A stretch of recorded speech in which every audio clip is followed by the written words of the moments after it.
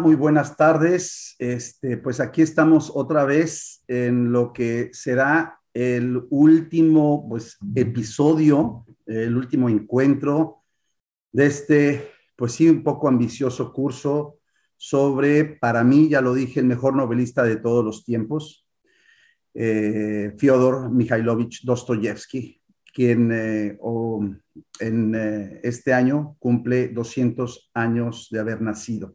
¿Verdad? Ya dijimos, nacido en Moscú, pero realmente criado y crecido en San Petersburgo, eh, ciudad que no conozco, pero que pronto conoceré. Eh, bueno, y como ya habíamos adelantado, en esta ocasión nos toca hablar de los hermanos Karamazov. Todos saben que fue su última novela y realmente su testamento literario básicamente, sin que él supiera que iba a ser su testamento literario, ¿verdad? Cuanto que él pensaba, y ya me adelanto aquí a decir, que habría una segunda parte a los hermanos Karamazov. No sé si algunos de ustedes ya lo sabían, pero venía la segunda parte, eh, que iba a ser igualmente ambiciosa, igualmente larga que la, la, versión, la primera, los hermanos Karamazov que todos conocemos, ¿verdad? Eh, él ya había tomado notas ah, para un, una obra descomunal en series que se iba a llamar Vida de un gran pecador. Estas notas eh, empiezan desde fines de la década de los 60, 1870, 1871. Pero ¿qué pasa? Eh, vamos a hacer un poquito de historia cronológica. Recuerdan que nos quedamos con el idiota la cual escribe en el extranjero entre los años 67, 68, especialmente en Suiza, donde se había, eh, ahora sí que, huido junto con su mujer, eh, escapando de sus acreedores. Esos acreedores, porque siempre andaba el pobre endeudado, esos acreedores, este, que lo perseguían y lo hubieran podido meter literalmente a la cárcel ahora por no pagar sus deudas. Deudas que, por cierto, no eran de él, eran de su hermano fallecido en el 64. Recuerden que él un poco estultamente adquirió todas esas deudas de su hermano mayor, Mijail, eh, a quien literalmente adoraba, y las deudas para que no cayeran en su viuda y en sus hijos, él las absorbió y las terminó pagando toda su vida. Ese, pues, fue una de las, digamos, de las cruces que se echó encima. Hay razones por las cuales hizo esto, pero bueno, no vamos, si no, si empezamos a hacer la génesis de la génesis de la génesis, nunca entraríamos a los hermanos Karamazov. Pero bueno, finalmente eh, ya dijimos que escribió el idiota en el destierro, básicamente, la pasó muy mal. Ya dijimos también en la sesión pasada que nace su primera hijita, a la cual adoraba, y esta hijita, Sofía, muere eh, poco tiempo después, eh, lo cual también va a ser eh, un ingrediente, un elemento importante en Los Hermanos Karamazov, porque también es una novela sobre niños, no para niños, pero sobre niños y sobre el sufrimiento de los niños en la tierra. Este, esto evidentemente marcó a, los dos, a Ana y, a Dostoyevsky, ¿verdad? Y este, bueno, finalmente en 1870, inmediatamente después de terminar eh, El idiota, eh, eh, escribe una pequeña novela perfecta que se llama El eterno marido, la cual, de la cual no vamos a hablar ahora. Es una novela mucho más perfecta que El jugador, muy recomendable. No es una gran tragedia, no es una epopeya, repito, es una novela, como se dice, ¿verdad? ¿Verdad? O como decía una, una nivola, 200 páginas, ¿verdad? Este, y eh, poco tiempo después se embarca en una novela cuyo título original era Ateísmo. fíjense, ateísmo, que no va a ser otra que los demonios, ¿verdad? Les cuento que cuando yo hace, ¿qué será? Esa fue la última novela que leí de Dostoyevsky antes de releerlo todo para este curso. Eso habrá sido hace como, en el, hace como 12, 13 años. Realmente, pues yo no estaba enterado qué estaba tratando de, hacer con los demonios, pero en realidad es la novela más conservadora, es el, el, el, panegírico más duro contra los anarquistas, los nihilistas y los que luego se, se, serán llamados populistas. Todos estos que no son, según Dostoyevsky, sino los hijos y los herederos de los socialistas de los años 40, que tanto él terminó abominando, ¿verdad?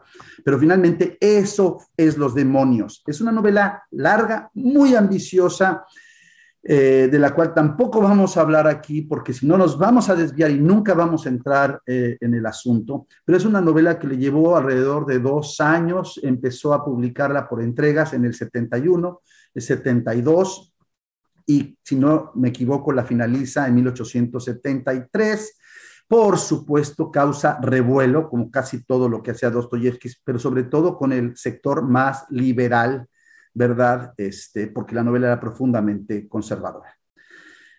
Este, em, estoy haciendo un poquito de cronología para que entiendan qué está pasando ya en esta década de los 70, la última década, no solo de vida de Dostoyevsky, sino la última década productiva de Dostoyevsky.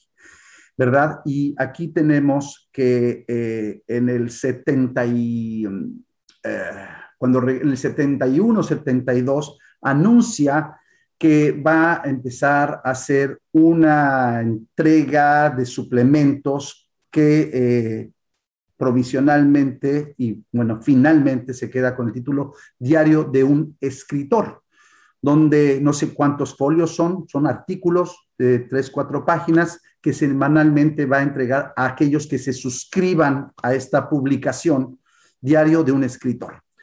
El Diario de un escritor eh, va a llevarlo toda su vida hasta eh, dos, tres días antes de su muerte, escribe el último diario de un escritor.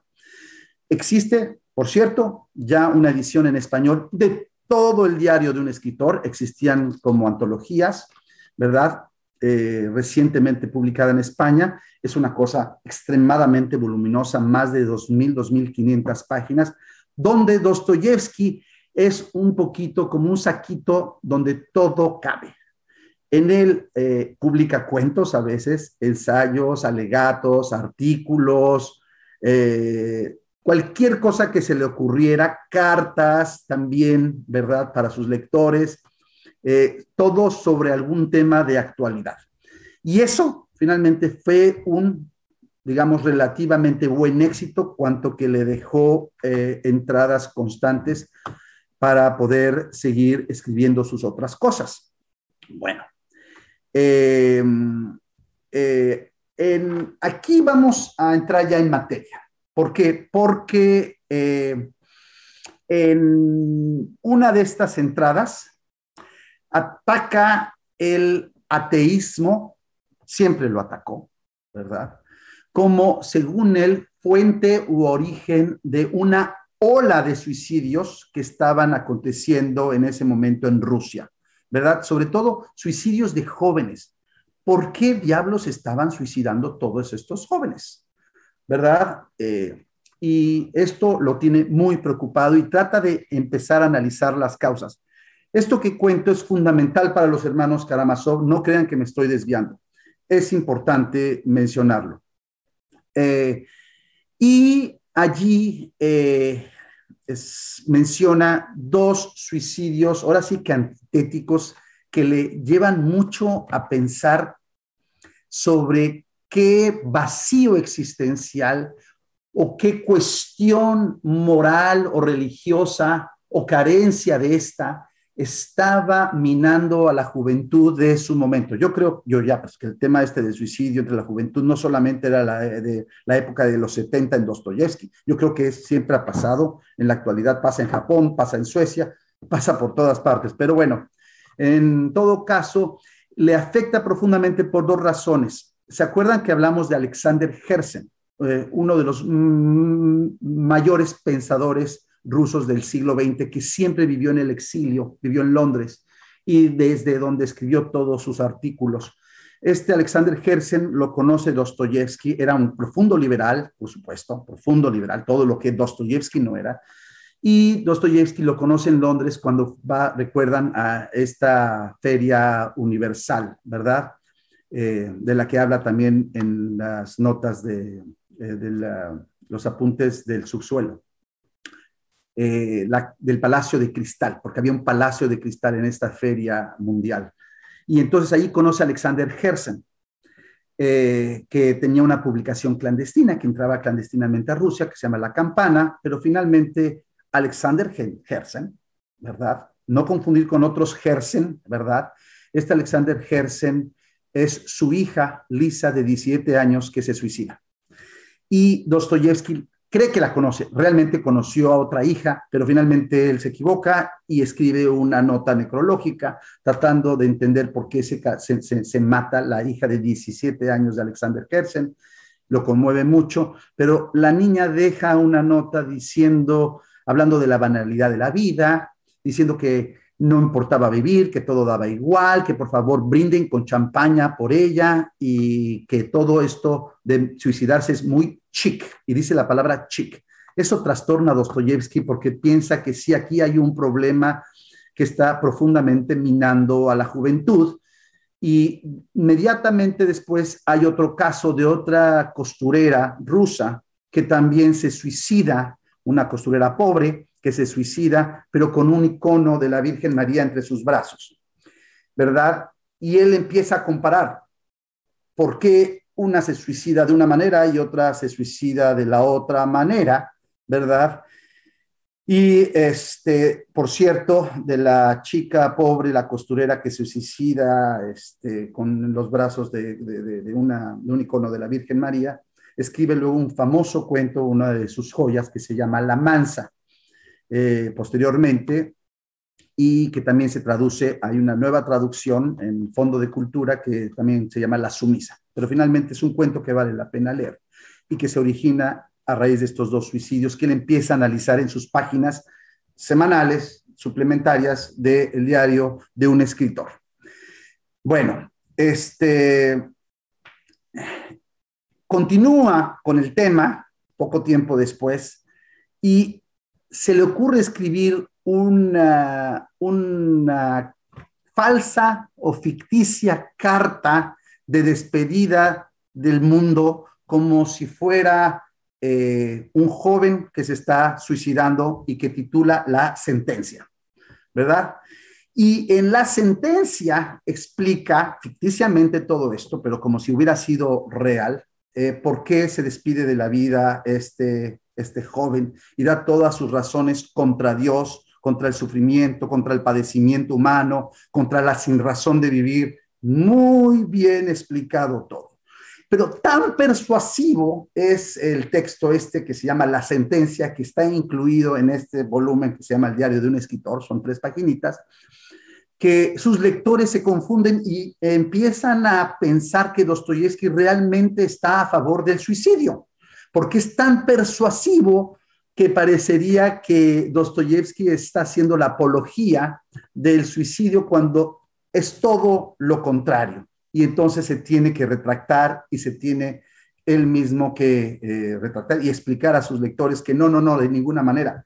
Yo al contrario, estoy condenando al, al suicidio y estoy tratando de ponerme en los zapatos de un joven suicida, que básicamente era lo de Lisa Hersen lo cual, por supuesto, pues le cae como, eh, le cae en el hígado a Alexander Herzen y a mucha gente que no debía haber hecho esto. que él se retracta posteriormente, etcétera. Pero ¿a qué viene esto? Esta cartita de la sentencia, esta ficticia carta de la sentencia, es el origen, el origen de lo que él en su mente luego empieza a lucubrar, que va a ser el gran inquisidor. El gran inquisidor y rebelión. ¿Ok? Estamos hablando de lo que será posteriormente el famoso libro quinto eh, de los doce libros que compone los hermanos Karamazov. ¿Verdad? ¿Por qué? Porque este este texto ficticio de despedida del mundo que se llama La Sentencia explica las razones por las cuales sería eh, racional o sería incluso decente, decente y digno suicidarse, ¿verdad? Que en el fondo no es otro que el origen de la argumentación de Iván Karamazov. Ahorita hablaremos de esto cuando entremos a ese libro, al libro quinto. ¿verdad? Son 12 libros los que componen, ahorita hablaremos también de la arquitectura de los hermanos Karamazov, 12 libros y un epílogo. Pero finalmente, ese libro quinto que titula, subtitula Los pros y los contras, ¿verdad? Incluye dos capítulos. Cada parte, cada libro incluye muchos capítulos, 10, 12, 14 capítulos. Es una novela extremadamente ambiciosa, eh, para aquellos eh, que la hayan leído, saben de lo que estoy hablando. No solamente la más ambiciosa de Dostoyevsky, voy a decirlo ya. Yo creo que es quizá la novela más ambiciosa de todos los tiempos. Más que el Ulises de Joyce, más que La Recherche du temps perdu de Marcel Proust, que son, como sabemos, siete volúmenes, más que el Don Quijote, más que Guerra y Paz, en mi humilde opinión, porque lo abarca todo, ¿verdad? todo. No eh, solamente el mundo, sino los temas son eh, cubiertos, pero cubiertos, ¿verdad? Eh, y examinados con una profundidad inequívoca. bueno, entonces, este texto de la sentencia podría ser el germen de lo que posteriormente será los hermanos Karamazov. ¿Por qué? Dostoyevsky siempre dijo y tenemos cartas donde él explica claramente. Yo escribí Los Hermanos Karamazov, toda la novela, todo este edificio gigante que es Los Karamazov, solo para responder al gran inquisidor. Es decir, es curioso cómo puede un novelista darse a la tarea de escribir 1200 páginas solo para responder un capítulo o dos, digamos que son dos, porque yo los veo como uno solo. Rebelión y El Gran Inquisidor, que digamos son 20, 25 páginas, ¿verdad? Son dos este, subhistorias, así como El Curioso Impertinente es un, eh, es un cuento dentro de Don Quijote, pues igualmente Rebelión y El Gran Inquisidor. Se pueden leer, de hecho mucha gente los estudia, los analiza de manera extemporánea o los eh, extrapolada de la novela, yo creo que es mejor leerlos completos para hacerse una correcta idea. Pero bueno, no voy a hablar ahorita de esto, eh, voy a continuar sobre el, asunto cronológico, porque cuando escribe el diario de un escritor, estas publicaciones semanales, se lanza a escribir, y esto ya después de los demonios, su penúltima novela que se llama El adolescente. Es una novela también bastante larga, no es tan larga como Los demonios ni como Los hermanos Karamazov. Es una novela que a mí me gusta mucho, sin embargo, sí hay que reconocer que adolece. Adolece, pero adolece porque le sobra bastante. Le hubiera venido una muy buena edición a esa novela Solo hay una sola, que yo sepa, una sola vez ha sido traducida al español, a diferencia de otros libros de Dostoyevsky que, que han sido varias veces traducidos. En inglés y en francés, por supuesto, cada libro tiene muchas más traducciones, ¿verdad? Y siguen apareciendo en inglés. Cada 10 años hay una nueva traducción de todos los libros de Dostoyevsky, cosa que no pasa, desgraciadamente, en nuestra lengua. Pero bueno, finalmente en 75 publica El adolescente, es una novela que yo no había leído, pues la más desconocida de Dostoyevsky, la leí recientemente. Tampoco hablaremos de ella, ¿verdad? Eh, habla, sí, de la bastardía, del hijo que tiene este resentimiento hacia su padre, que de alguna manera este, ah, va a prefigurar o adelantar lo que va a pasar en los hermanos Karamazov, ¿verdad? Eh, hay que decir muy importante, si ustedes recuerdan, que se publica o que se empieza a publicar en 1875, al mismo tiempo que el adolescente, Ana Karenina, ¿verdad? Ana Karenina. Quizás otra junto con los Karamazov, o yo creo que un poquito después de los Karamazov, otra de las grandes novelas, deslumbrante, ¿verdad? En mi opinión, en mi opinión, mejor que Guerra y Paz, ¿verdad? Mucho más perfecta. Y por supuesto, esta relación uh, entre Dostoyevsky y Tolstoy siempre se ha hablado y se seguirá hablando. No hubo tanta relación, de, ¿verdad?, eh, entre ellos, pero obviamente se leyeron todo, se examinaban, ¿verdad? Y fueron, eh, estaban básicamente sí en la misma corriente súper, ultra cristiana, ¿verdad? Eh, aunque con una salvedad, y me voy a adelantar, en 1878, por una prima de, del, conde, del conde Tolstoy, ¿verdad? Eh, una prima que era muy amiga de Dostoyevsky, le confiesa que Tolstoy ya ha dejado de creer en la divinidad de Cristo. Ama a Cristo, es un seguidor de Cristo, pero Tolstoy en 78 deja de creer en la divinidad de Cristo, lo cual es como una bofetada para Dostoyevsky, porque él está en shock cuando escucha esto. Piensa que finalmente si no crees en la divinidad de Cristo, es como que no entendiste absolutamente nada. Y él piensa que, bueno, pues que su querido Tolstoy se está descarriando, ¿verdad? Eh, pero bueno, me estoy desviando, simplemente decir que el adolescente y Ana Karenina competían, por supuesto, fue abrumador. Eh, eh, los lectores que prefirieron Ana Karenina por encima del adolescente. Pero esto no hizo sino aguijonear más a Dostoyevsky porque era muy competitivo, muy competitivo.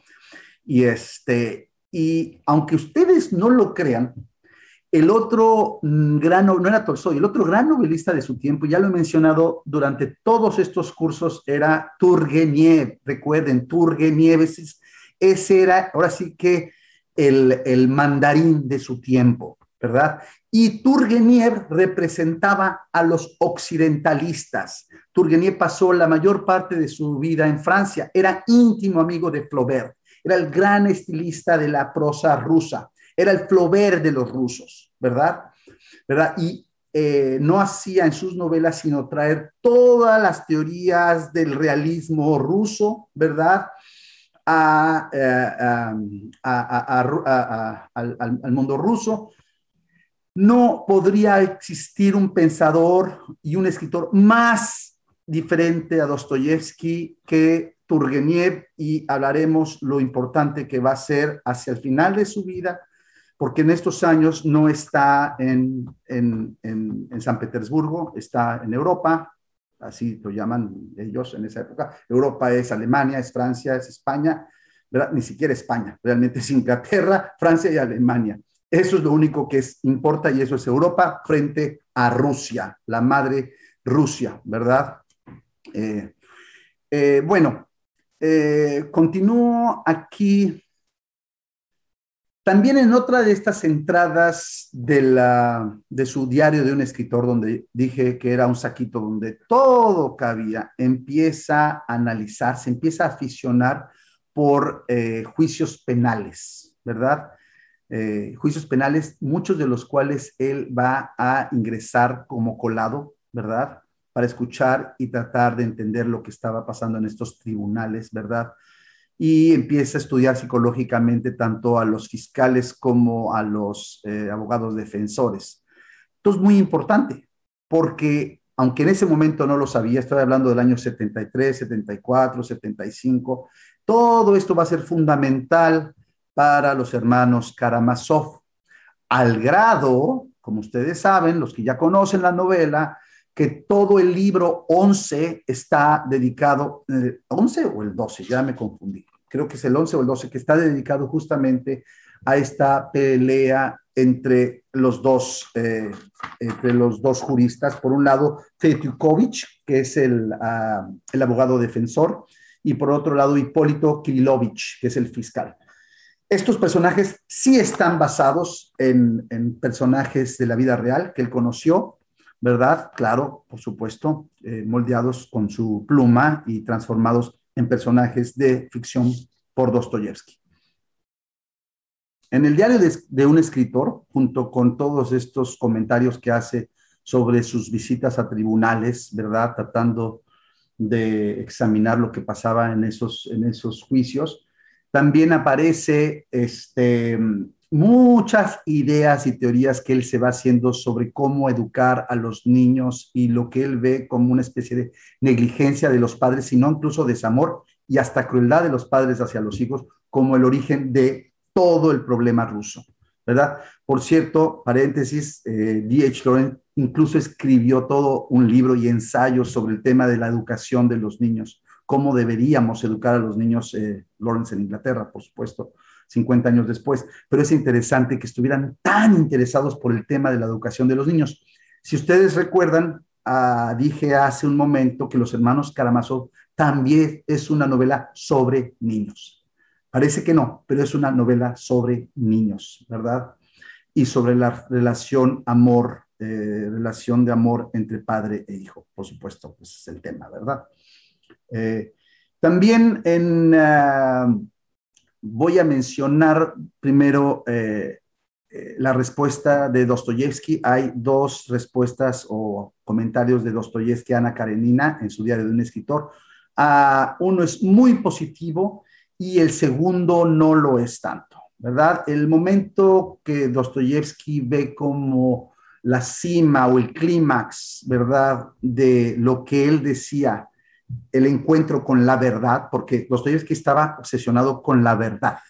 ¿Qué era la verdad? No, sabía, pero la percibimos, la entendemos, fulge cuando la encontramos ya en la vida o en un libro o en el arte. Allí está la verdad y el artista debe de buscar esta verdad y sentía que Tolstoy la había encontrado no en las charlas superficiales de la alta sociedad rusa que le parecían a él soberanamente aburridas e insulsas, ¿verdad? Que son gran parte de Ana Karenina, a mí no me lo parecen, eso le parecía a Dostoyevsky, sino el momento en que Bronsky, recuerdan Bronsky, el amante de Ana, y su marido, ¿verdad? Que son enemigos, por supuesto, rivales a muerte, se perdonan, se dan la mano en el hecho, no es el hecho de muerte, pero parecería en ese momento que Ana Karina va a morir, ya sabemos cómo muere Ana Karina, pero en ese momento se perdonan y se encuentran, ¿verdad?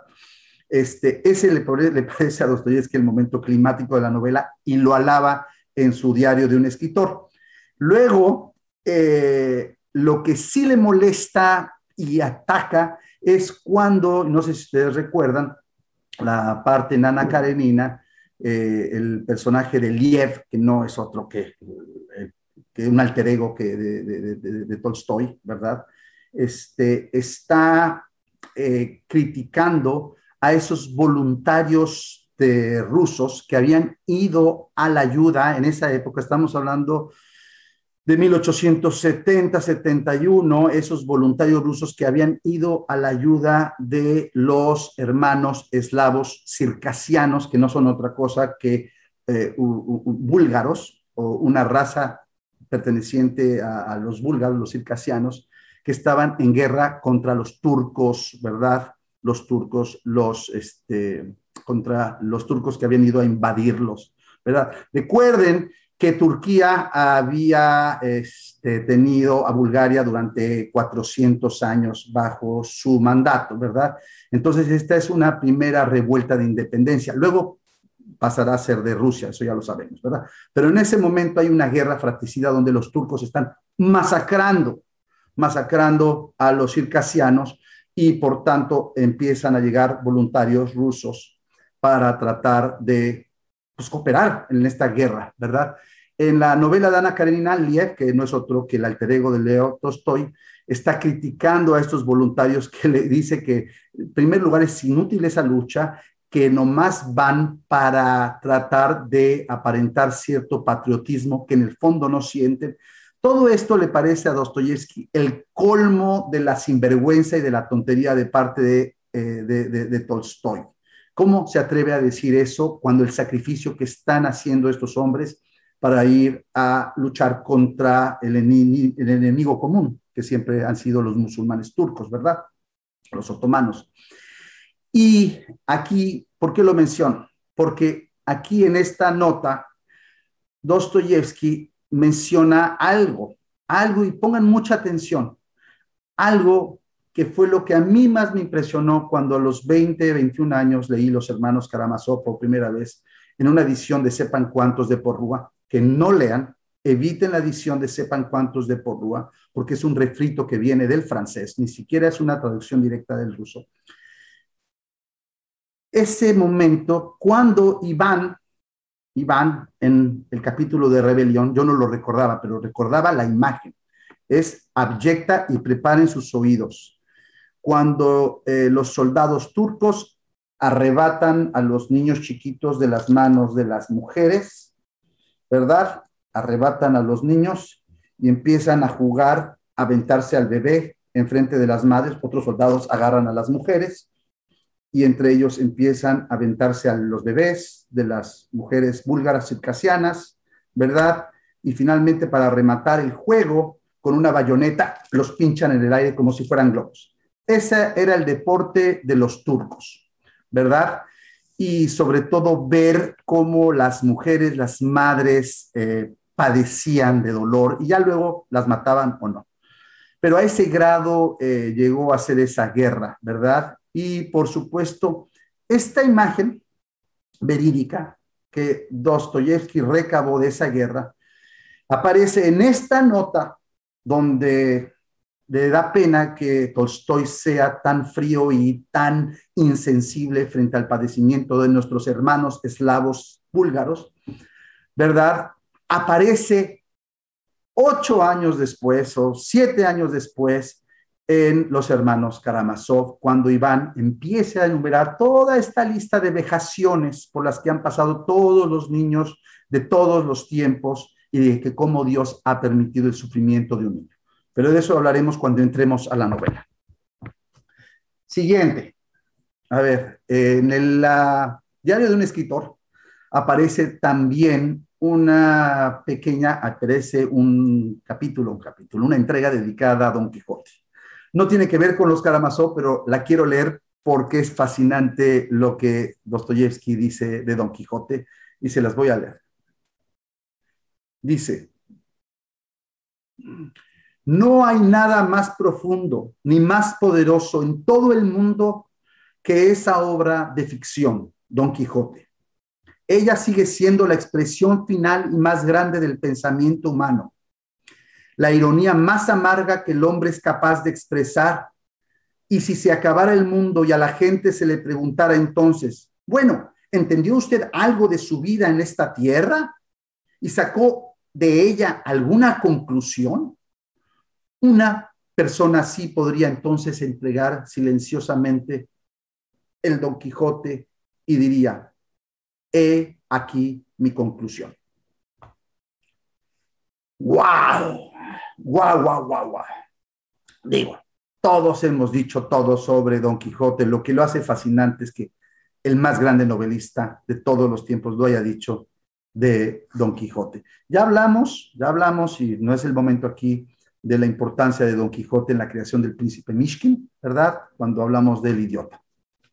La mm, novela queda anunciada cuando Dostoyevsky dice en su diario de un escritor que va a suspender las entregas momentáneamente porque se va a embarcar en una nueva eh, apuesta literaria que no es otra cosa que los hermanos Karamazov esto lo anuncia en octubre de 1877. Recuerden otra vez que la novela iba a ser otra cosa, ¿verdad?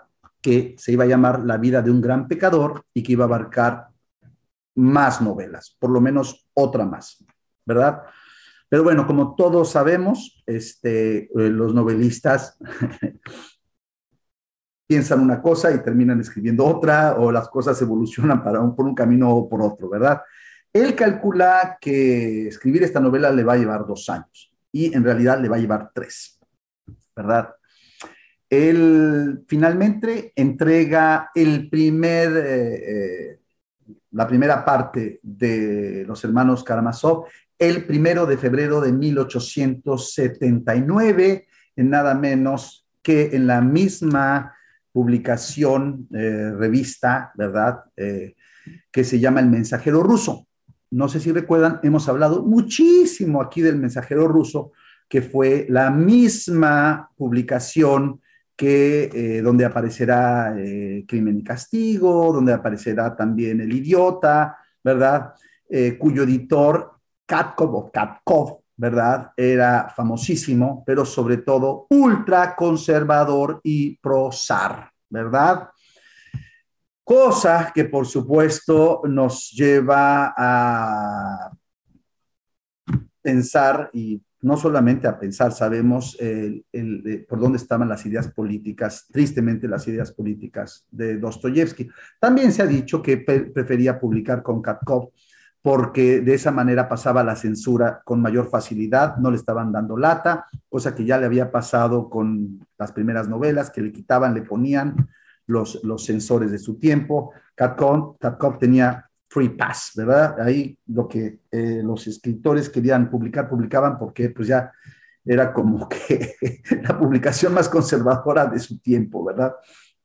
Este, también hay que decir eh, que en 1879, apenas un mes después, en marzo, eh, de haber entregado ya la primera parte, el primer libro de los hermanos Karamazov, le pasa una anécdota curiosa a Dostoyevsky. La, la comento, la comento porque la leí aquí también en la gran, gran biografía de Joseph Frank, que me pareció interesante de compartir. Y es que una noche sale a una de sus paseos nocturnos, que le gustaba, y en la parte escribía de noche, recuerden, era para despejarse. Y entonces hay un limosnero, un, ¿verdad? Un, ¿cómo se fue la palabra? Eh, homeless, ¿verdad? Este vagabundo que está en la calle y le pide dinero y Dostoyevsky realmente está abstraído en sus pensamientos y no le da, ¿verdad? Simplemente no le da. Y entonces se pone furioso el, tipo eh, y le dice que pues, ustedes los ricos no tienen idea lo que es que nosotros sintamos hambre porque ustedes nunca han sentido hambre. Dostoyevsky pues a la medianoche ni siquiera pone atención lo que le dice este, este, pues, este loco de las calles y el tipo lo ataca y lo golpea. Lo empieza a golpear, ¿verdad? De la furia porque no le había dado dinero. Cosa que ya sabemos que pasa a veces, ¿verdad? En todos los países. Eh, por suerte para que aparece la policía, ¿verdad? Lo protege, sale limosnero, ¿verdad? Y por fin lo atrapa la policía. Y al otro día le preguntan a Dostoyevsky si quiere levantar cargos contra contra el tipo y dice que no, que no va a levantar cargos y no solamente no levanta cargos, sino que le regala tres rublos y que para que ya lo saquen de allí. Anécdota, ¿verdad? Anécdota de, de, de su, de, de, cómo él quería hacer congruente sus ideas filosóficas cristianas con su, con su vida, ¿verdad? No siempre lo llevó a cabo, porque era, hay que decirlo, un tipo osco, muy difícil, muy complicado, de ideas muy inflexibles. Ahora sí que nunca mejor usada la palabra que ortodoxo, ¿verdad? Eh, pero finalmente congruente.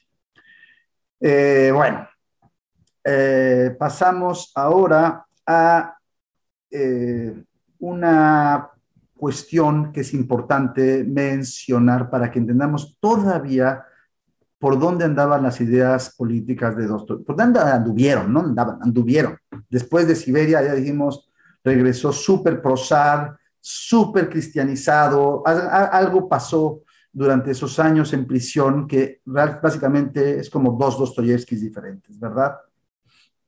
Este, y en este momento eh, hay una invitación del Fondo Literario cuando aparece Turgeniev, el famoso Iván Turgeniev, el gran novelista del que hemos hablado, bueno, Tolstoy, Turgeniev, eh, Dostoyevsky, y bueno, Goncharov también, y Lermontov y Gogol, pero esto es en segunda plana. Es Turgeniev, Tolstoy, Dostoyevsky, es la gran triada, ¿verdad?, de novelistas del siglo de oro eh, ruso. Y regresa Turgeniev y le van a hacer un homenaje, ¿verdad? Y también invitan a Dostoyevsky, acepta, curiosamente, hay dos homenajes, hay dos lecturas en este fondo literario, es el 13 de marzo y otra del 15 de marzo del 79, poco tiempo después del, de la anécdota del, del, limosnero, ¿verdad? Del vagabundo que ataca a Dostoyevsky. Y aquí eh, nuestro querido, amado escritor no le da la mano a Turgeniev en el público cuando Turgeniev le da la mano. Pues como en plan de hacer las paces, Dostoyevsky no se lo da porque para él Turgeniev representa todo lo más nefasto de, eh, de Occidente, al cual Dostoyevsky odiaba, abominaba todo lo que venía de Occidente y Turgenev no era sino querer traer la ilustración eh, europea, occidental a Rusia, que era lo que estaba arruinando a Rusia, recordémoslo. Y bueno, eh, eh, no le da la mano en este primer encuentro, ya después sí se la va a dar, ¿verdad? Pero es interesante ver lo que pasó después de esa velada durante la cena y unos brindis.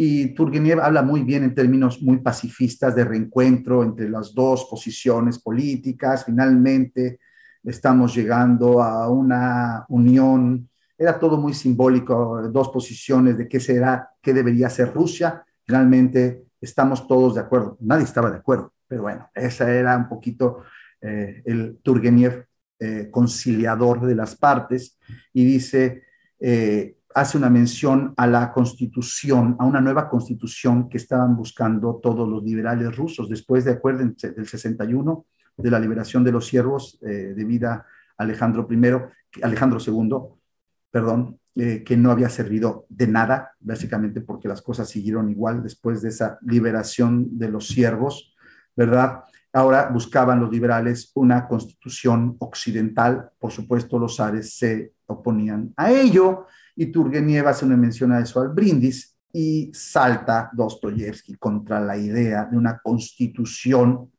eh, occidental y se enfrascan en un debate muy desagradable, en una velada que tenía que haber sido eh, de, amistad y de encuentros entre los dos grupos o facciones. ¿Verdad? Eh, bueno, eh, le dice a Dostoyevsky que no por otro motivo publica con Katkov, que todos saben que es justamente súper a la línea del zar, ¿verdad? Y de los grupos que tenían literalmente oprimido al pueblo ruso. Dostoyevsky trata de salirse por la tangente, no lo consigue, ¿verdad? Trata de justificarse de por qué publica con Katkov, en lugar de defender a Katkov. Eh, eh, eh Maikov, que era Apolón Maikov, que fue su gran poeta ruso, que fue amigo toda su vida de Dostoyevsky, que también era súper conservador, se enoja con Dostoyevsky, escribe una carta fulminándolo, diciendo que es terrible que eh, como San Pedro básicamente haya negado a su editor. Bueno, anécdotas, anécdotas, anécdotas, ¿verdad? Pero creo que ya es el momento de entrar en materia después de esta larga introducción y ver cómo las piezas se van acomodando en la mente de Dostoyevsky para escribir Los Hermanos Karamazov. Entonces, vamos a hablar de la estructura, la estructura que son 12 libros. Recuerden, muchos novelistas cuando escribían novelas de gran aliento los dividen en libros, así así como la Biblia, ¿verdad? Libros. Y cada libro puede tener 100 páginas, 150 páginas. Cada libro tiene capítulos, ¿verdad? Muchos capítulos. Ahí sí varía. Capítulos de 7, eh, perdón, libros de 7, 8 capítulos o libros hasta de 12 y 14 capítulos, ¿verdad? Pero supuestamente manteniendo una secuencia y una cohesión interna cada libro, más o menos, ¿verdad?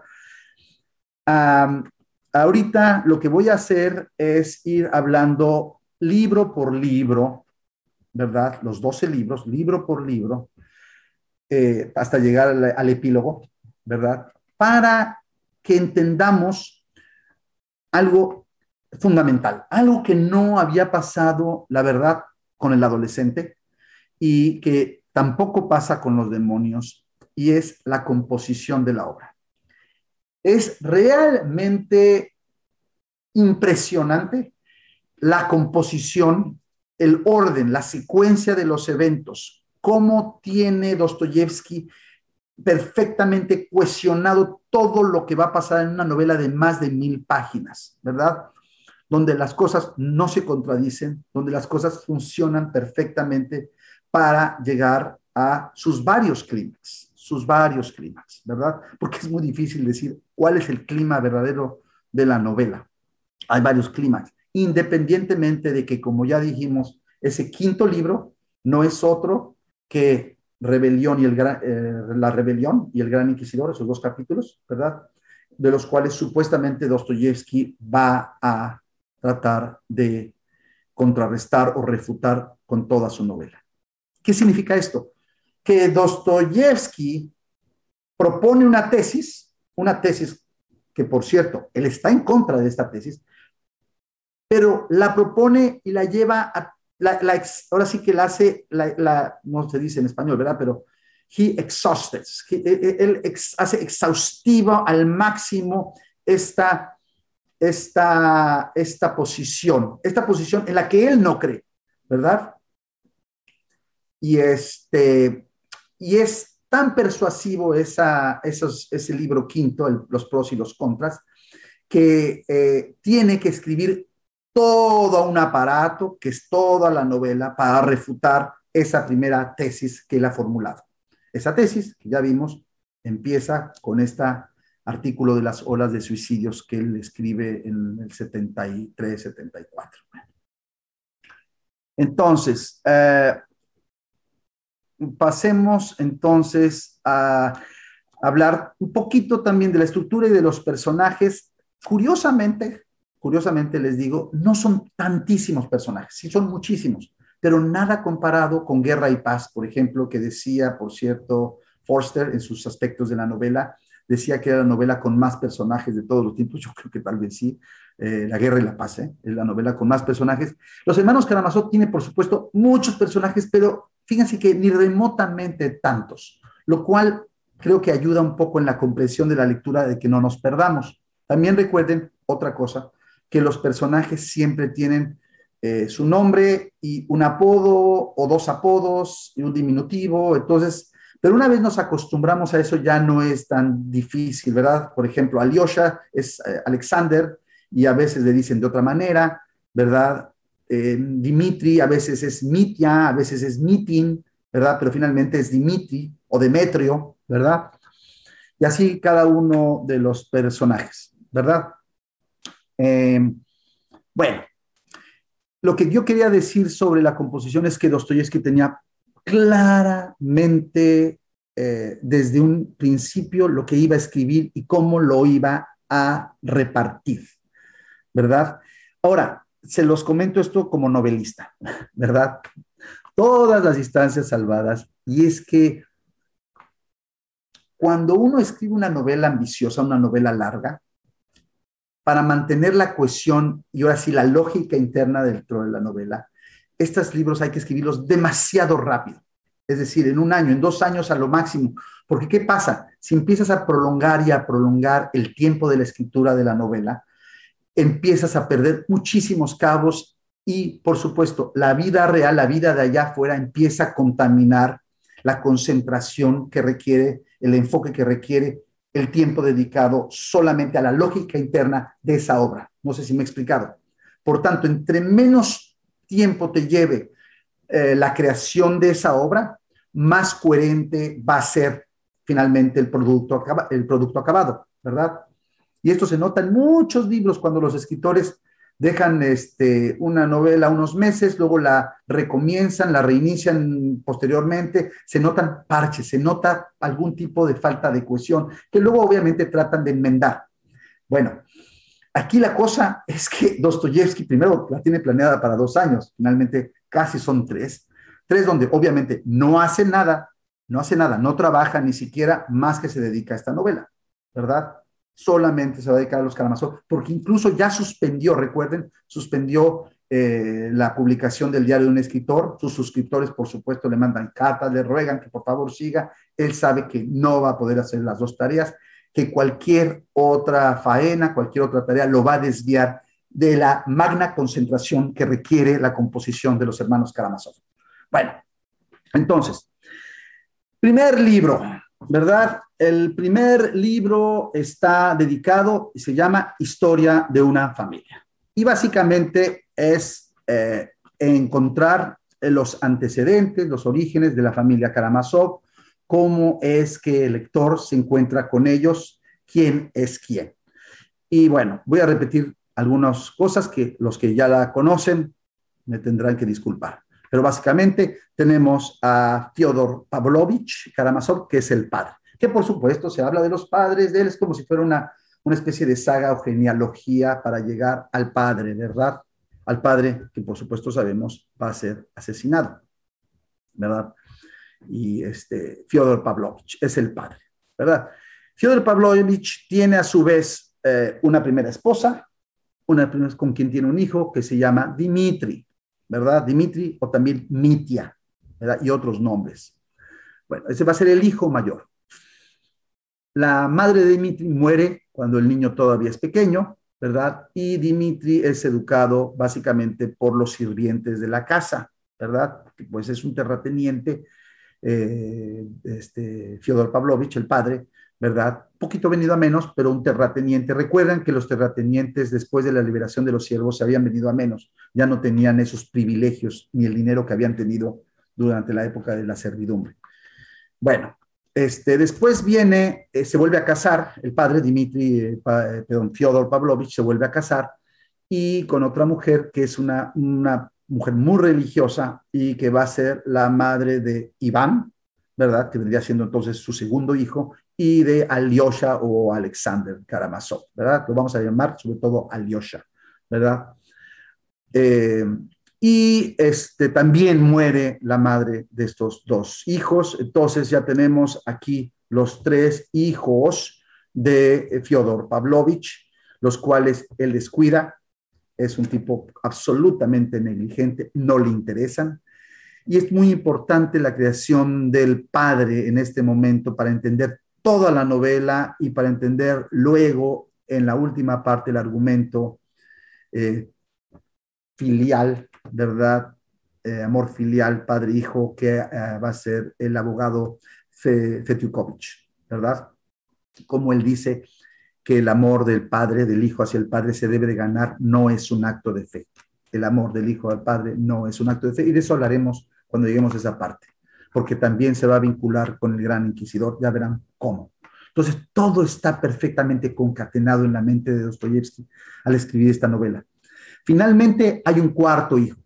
Es un cuarto hijo que puede o no puede ser hijo del padre de Fyodor Pavlovich, ¿verdad? Karamazov, ¿verdad? De este tipo brutal, libidinoso, lujurioso, que se ha gastado todo el dinero en orgías, que no le importa la educación de sus hijas, que se han muerto sus dos esposas y que se la pasa trayendo prostitutas a la casa, ¿verdad? Es alcohólico, no trabaja y, y simplemente no le importan sus hijos. Eh, este hijo se llama Smerdiakov. Smerdiakov y fíjense, es muy interesante la historia de Smerdiakov porque es un niño bastardo, es un niño feo, es un niño contrahecho y ¿qué creen? Es epiléptico. Es un niño epiléptico como quién? Como el mismo Dostoyevsky. Ojo, es bastardo, igual que el adolescente, eh, la novela del adolescente, porque el tema de la bastardía también le importaba mucho a Dostoyevsky. Aquí va a ser fundamental. Entonces, tenemos que nos cuenta también en este primer libro la historia de cómo aparece Esmerdiakov y no es otro que el hijo de una jorobada, una mendigante, una mendiga, ¿verdad? De, del pueblo, ¿verdad? Que cruza la cerca del huerto, del jardín donde vive Fyodor Pavlovich el padre, se mete en una covacha, y allí eh, esta mujer, que es una, la loca del pueblo, la jorobada loca del pueblo, da a luz a un bebé. Ese bebé es Esmerdiaco. ¿Por qué esa mujer escoge de todos los lugares, está loca, brincarse la cerca, meterse en la covacha y parir justamente en el jardín de, del señor Karamazov? ¿Por qué haría eso? Entonces, el mito en el pueblo es porque ella, la loca, la loquita, sabe que eh, el padre también la violó a ella. Entonces, por eso se habla de la bastardía de Smerdiakov, que también es posiblemente, siempre se mantiene la, ambivalencia en la novela, si eso no es hijo de Fyodor Pavlovich. A mí me gusta pensar que sí lo es, le da más fuerza, pero también es claro que era interesante dejar la ambivalencia. En realidad, eh, Fyodor Pavlovich no se apiada del niño, son los dos criados de la casa que son como si fueran los más fieles perros de Pavlovich, el padre, eh, que se llama eh, Grigori Vasilievich y su mujer Marfa Ignatievna, que van a ser importantes en la novela, ¿ok? Marfa, pero sobre todo eh, Grigori, Gregory o Grigori, ¿verdad? Que es el mayordomo o el criado, ya es una persona muy mayor, y su mujer, que son personas muy cristianas, muy buenos, este, muy ortodoxos, y sin embargo atienden y sirven al amo, al terrateniente, al papá Karamazov, ¿verdad? Este, ellos son quienes van a criar a Esmerdiaco y lo vuelven como otro criadito de la casa. Entonces el hijo bastardo se vuelve criadito de la casa. Esto es importante para entender cómo se va a desarrollar el posterior asesinato, ¿verdad? En, voy a pasar al segundo libro, porque si no, nunca vamos a acabar, señores y es el momento, lo titula Dostoyevsky una reunión importante, y es cuando ya conocemos el intríngulis que está pasando de finanzas en la familia Karamazov, ¿verdad? Eh, básicamente, eh, Dimitri argumenta, el hijo mayor, que su madre, la primera mujer del papá, eh, le ha dejado a él una herencia, ¿verdad? que son primero unos terrenos en. Chermashnaya, podemos imaginar, nosotros mexicanos, que debe de ser eh, una especie de terreno, no sé, en el Estado de México o en Morelos, no sé, ¿verdad? Y el cual se ha eh, apropiado de manera eh, ilegal el padre. Pero Dimitri argumenta que pertenece a él y que por lo menos vale, se discute 6 mil rublos, 8 mil rublos, etcétera, ¿verdad? Este, padre argumenta que no, que ella le había pagado la parte de ese terreno en Chelmashnaya a Dimitri. Dimitri dice que no, que lo que le pagó no es suficiente, que él sabe que era mucho más de lo que le había pagado y que todavía le queda de ver. Y están en un debate, padre y el hijo mayor, terrible, donde no se ponen de acuerdo jamás. Por tanto, Alyosha, el hermano menor, decide decirle, decirles a todos, todos vayamos al monasterio, a hablar con el padre Sósima o Sosima o Sosima, ¿verdad? A mí me gusta llamarle Sosima. Bueno, el padre Sosima, que va a ser fundamental para aquellos que conocen los hermanos Karamazov en la novela. Eh, van todos los hermanos, va un primo, eh, va Rakitin, que también va a ser muy interesante, este periodista amigo de la familia, ¿verdad? Eh, y todos van con el padre Sosima para que él dirima la, discusión entre las partes, entre el padre y el hijo mayor, porque no parece que se, ponen, se pongan de acuerdo y estas, esto parece que va a terminar mal. Previendo que termine mal, van con el padre Sosima y aquí ya nos enteramos de que Alyosha quiere ser, eh, él quiere ser un monje y que así como eh, no tuvo la figura de un padre, porque su padre básicamente nunca puso la más mínima atención en él, él ve en el padre Sosima una especie como de padre angelical. Y la verdad, el padre Sosima es un gran personaje de la novela, básicamente, y es básicamente, padre Sosima representa la balanza frente al escepticismo de Iván. Pero de eso ya hablaremos a continuación.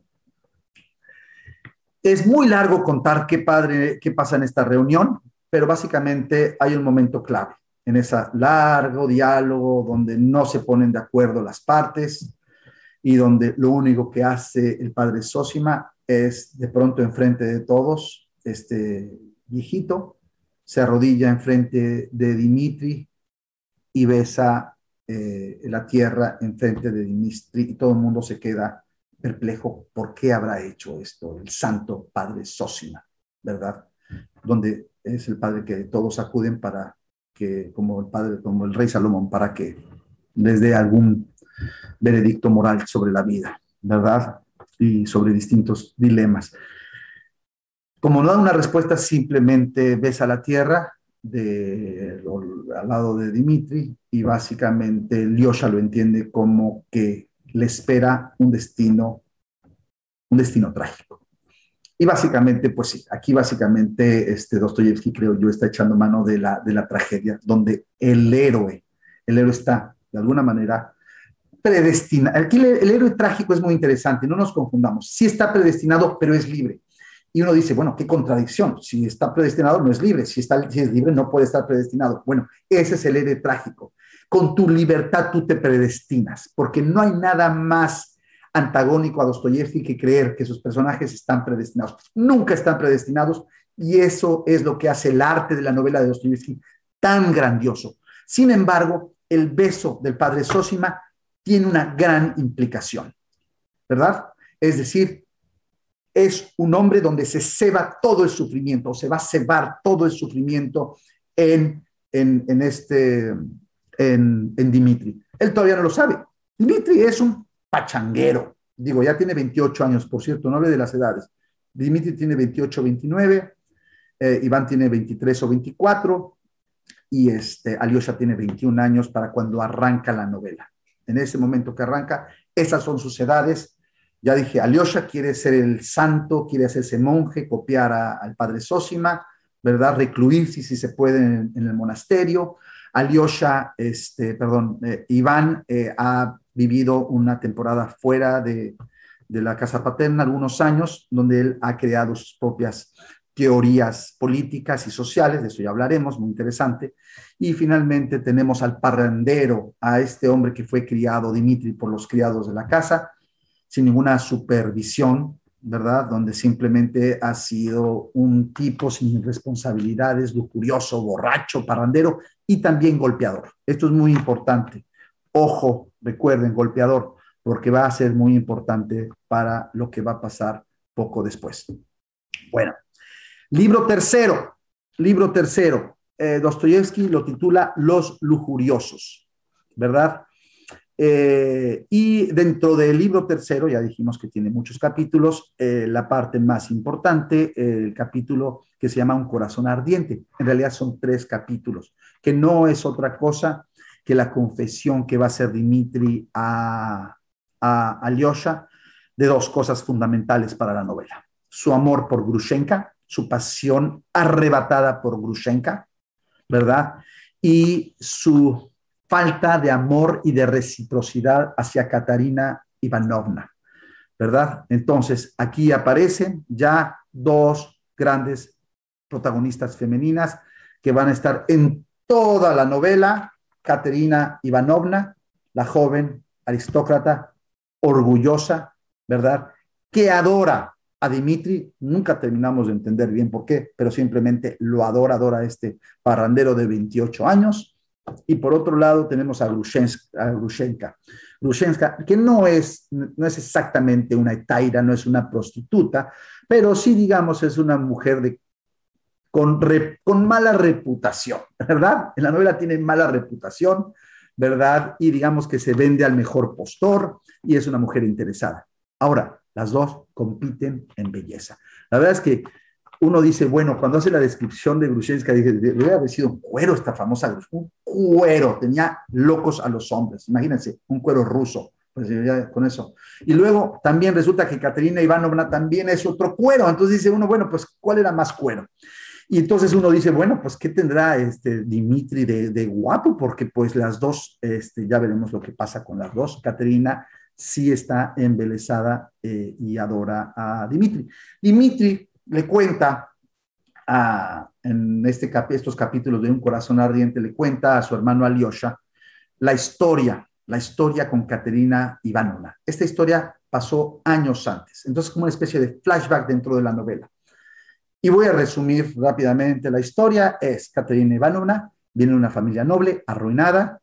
Eh, el padre de Caterina, eh, que es como una especie de tesorero, roba dinero de, los fondos, X, no importa qué lugar, es, este, es descubierto, él tiene que restituir los fondos antes de caer en la infamia, antes de ser procesado, está desesperado por 5 mil rublos, si no me equivoco, no hay 5 mil rublos, entonces este, en ese momento del pasado, Dimitri se entera que Caterina está desesperada, creo que esto pasa en Moscú, no pasa en San Petersburgo, no recuerdo el lugar donde pasa, y básicamente le dice que sí, que con mucho gusto él, Dimitri, se los va a prestar. En ese momento era el dinero que había recibido de su padre, recuerden, ¿verdad? En adelanto por los terrenos de Chermasnaya, ¿verdad? Y entonces, en un acto de bondad, Dimitri dice, pues yo no los necesito ahorita.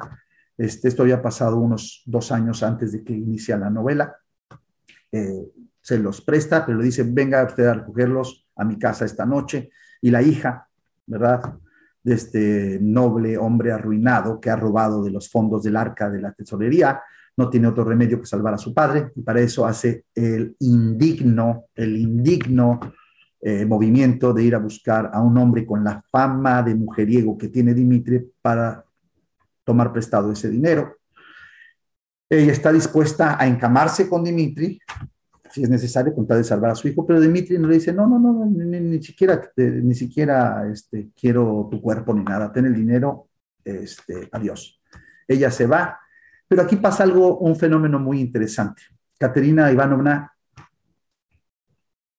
queda de alguna manera, digamos, estupefacta, porque aunque le gustaba a Dimitri, al mismo tiempo lo despreciaba porque pensaba que Dimitri se iba a aprovechar de ella al prestarle esa tan grande cantidad. De alguna manera, Dimitri la tenía a ella en su puño y no utilizó ese poder, sino al contrario, le prestó el dinero y ya.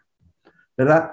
Ella se encandila más a raíz de esta situación, al grado de que empieza realmente a enamorarse, pero realmente a enamorarse de Dimitri, a grados superlativos que van a permear toda la novela. El problema es que a Dimitri ya no le gusta. Por más bella que sea esta aristócrata, ya no le gusta. Y conforme Dimitri menos la quiera, no la desdeña ni la menosprecia, simplemente ya no la quiere tanto, ¿verdad? La admira, la respeta, le gusta, pero ya no, y es que todo esto es muy conflictivo y muy difícil de explicar, hay que leerlo para entenderlo, porque nunca están claros los sentimientos. Tal y como son los sentimientos, Dostoyevsky constantemente está contradiciendo estos sentimientos, porque así son los sentimientos de los seres humanos. Entonces están constantemente en conflicto. Katerina Ivanovna entonces queda como es complicado, entre agradecida, pero también impactada por el grado de altruismo de este hombre que tiene fama de nefasto y de parrandero. ¿Verdad? Todo esto se lo cuenta Dimitri a su hermano Alyosha en los capítulos de Un corazón ardiente, que también son famosos, donde él también, por cierto, lee ahí en la novela dos poemas de, Schiller, entre ellos El himno a la alegría, el famoso Oda a la alegría de Schiller, eh, se los lea a, su hermano Alyosha esa noche, que está medio briago. Y esto, por cierto, de Schiller, recuerden que eh, Dostoyevsky era amante de Schiller, era su escritor de cabecera, sobre todo de la juventud, y que eh, la obra de teatro Don Carlos influye mucho en el pensamiento de Dostoyevsky, ¿verdad? Pero bueno, no me voy a desviar.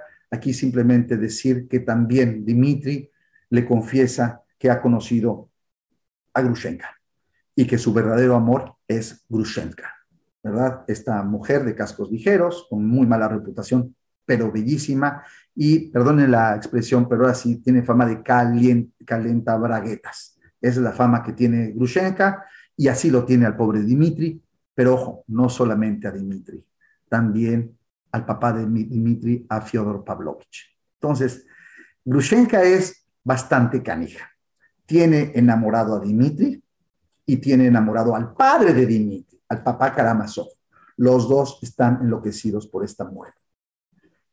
Ojo, esto es fundamental para lo que va a pasar en la novela. En ese momento ni siquiera remotamente lo podemos contemplar ni atisbar, pero va a ser fundamental, porque esto va a desencadenar una cantidad de cosas, ¿verdad? Eh, mm, bueno, Aquí también en el libro tercero, que se llama Los Lujuriosos, donde está la confesión de, Dimitri a su hermano Alyosha, también aparece la historia de Smerdiakov, de la cual ya hablamos, ¿verdad? Y termina el libro para mí con uno de los mejores capítulos de la novela. Esto es fabuloso, la verdad a uno lo deja perplejo en la capacidad de Dostoyevsky. Y es, no sé si recuerdan, aquellos que ya conocen la novela, el momento en que Katerina Ivanovna recibe a Lyosha, al monjecito este, del hermano menor que quiere, que es el bueno de la historia. Es un poco el príncipe Mishkin del idiota, la verdad es un poquito el príncipe Mishkin recreado, donde todo es bondad, todo es luz y donde, ojo, siempre dice la verdad, siempre dice la verdad, aunque la verdad ofenda, es el personaje dostoyevskiano de la verdad, ¿verdad? A ultranza, llega a ver a Caterina, porque recuerden que las novelas de Dostoyevsky todo mundo se visita todo el tiempo, llegan a las casas, cenan, a los salones y se la pasan en diálogos eternos. Bueno, llega y entonces eh, le dice Caterina Alyosha, estoy feliz, estoy feliz porque ya nos reconciliamos, este, Grushenka y yo, y Grushenka me ha dicho que él me deja a, a Dimitri, yo ya sabía que Dimitri estaba medio enamorado de ella, pensé que era una mujer suela, pero ya me di cuenta que es una gran mujer, es una mujer decente, y Alyosha le dice, pero ¿cómo? ¿Cómo si todo lo contrario? Este, Dimitri está enamoradísimo de Grushenka, él lo sabe porque se lo acaba de decir en capítulos anteriores, que Dimitri realmente ama a Grushenka y realmente pues simplemente respeta y medio quiere a Katerina Ivanovna, ¿verdad? Y entonces Alyosha está desconcertado frente a esta confesión, ¿de dónde está imaginando esta Katerina esto? Y entonces se abre la cortina y aparece Grushenka. Grushenka ha oído toda la conversación y le dice, y le dice, Katerina le dice a Alyosha, ¿ya ves? díselo tú, ¿verdad? ¿Verdad que me vas a dejar todo el camino allanado, Lushenka, todo el camino para que vuelva Dimitri a mis brazos, porque él y yo somos uno mismo, nos amaremos por siempre? Y entonces este, dice, dice, dice Lushenka, a ver, a ver, no, perdone señorita, yo no le he prometido nada. ¿Cómo, cómo? Si apenas unos momentos antes usted me dijo que que, sí, que vino aquí a mi casa, yo la recibí aquí en mi salón para ponernos de acuerdo en que usted realmente no ama a Dimitri. A ver, a ver, a mí Dimitri medio me gusta. Sí, lo quise un rato, un rato cuando fuimos hace un mes a Mokroye. Mokroye es muy importante el pueblo de Mokroye, ojo, Mokroye, que es como decir Cuernavaca, a una hora de distancia, hora y media de distancia de San Petersburgo, ¿verdad? Un lugar así como de, veraneo probablemente, ¿verdad? Este, y le dice, sí, sí, me fui, se había hecho, se había llamado, este, Dimitri se había llamado a Lushenka Mokroy un mes antes, ¿verdad? Hacer una gran pachanga con su etaira. Y entonces le queda desconcertada Caterina, pero si apenas antes de que llegara Alyosha usted me acaba de decir que no ama a Dimitri, que no le interesa, que nada más está jugando usted con él. Sí, pero ¿qué cree, señorita? Ya cambié de opinión. ¿Pero cómo? Primero me dice una cosa, luego me dice otra. Sí. Y realmente lo que está pasando aquí es que Grushenka quiere humillar a la aristócrata Katerina Ivanovna y le dice, ¿qué cree usted? ¿Usted qué cree que por su dinero y su nobleza puede hacer lo que quiera con nosotras solamente porque somos, no tenemos los padres y la nobleza y el linaje que tiene usted? No, no, no. Realmente aquí hay un problema de orgullo entre dos mujeres finamente retratado por Dostoyevsky. Es un capítulo brutal, ¿verdad? Donde la falsa aparente reconciliación de las dos mujeres en el fondo no es más que una treta muy canija de Grushenka, ¿verdad? Eh, contra Katerina Ivanovna. Pero luego también nos damos cuenta que Katerina Ivanovna tampoco es un angelito de la guardia. Realmente lo que, lo que ella quiere es Dimitri. Ella quiere a Dimitri para ella, lo adora, ¿verdad? Entonces está de alguna manera comprando, si no con dinero, la conciencia de esta mujer, de Grushenka. Al ver que esto no sucede así, que Grushenka no es tan fácil de convencer y de quitar del camino, se arma la gresca. Muy desagradable capítulo, francamente, es tan bueno porque es tan desagradable, ¿verdad? Donde vemos puestas en escena dos mujeres orgullosas, dos mujeres dispuestas a matarse una a la otra todo lo que da por un hombre, por Dimitri, el parrandero, mujeriego y borracho. Como esta sesión, este curso de los hermanos Karamazov eh, eh, se ha prolongado, eh, me ha parecido bien dividirla en dos partes. Entonces, aquí concluimos esta primera parte de los Karamazov y ya en la siguiente oportunidad concluiremos con la segunda parte de nuestro análisis.